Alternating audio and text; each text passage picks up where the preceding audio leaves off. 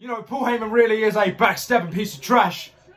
Coming out here, realigning himself with Roman Reigns, the tribal chief, insulting Brock Lesnar. It's clear that this wasn't his plan all along, but, you know, at the Royal Rumble, it was the last minute, he says, you know, he needed to protect Lesnar from Reigns, is what he actually said in the end, but, you know, it is what it is. No, no, no, no! No, go away! Go away! No! No! No! No! Goldberg is back. And this is not good news for the Tribal Chief or any WWE fan. Please, God, no. Goldberg is going to challenge the Tribal Chief for the Universal Championship. And now I am officially scared can you imagine if Goldberg beats Reigns for the title? I would be more outraged at that than when he beat The Fiend.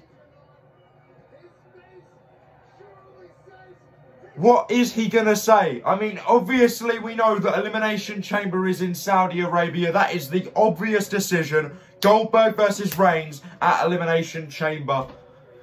Oh, last time Goldberg fought for the Universal title in Saudi Arabia, he won. Oh, well, we're just going to have to wait and hear what he says. You know, I am intrigued by a Reigns-Goldberg match. It's not like I don't entirely want to see it. Part of me does want to see it. We meant to get it at WrestleMania 36. Obviously, Reigns would have been going over. We're getting it now. Wait.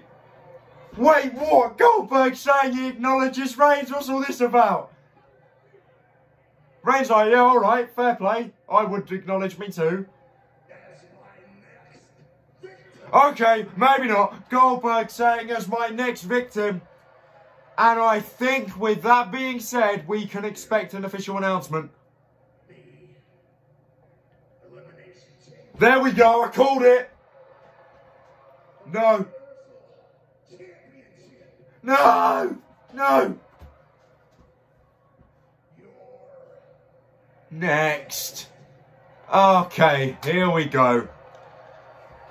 And because Goldberg is a part-timer and he can come up and back and show up whenever he wants, that is an official announcement because we all know that part-timers can call matches wherever they want. But there you go, guys. I mean, I am intrigued, obviously. I will watch. Uh, we were meant to get a WrestleMania 36, didn't happen.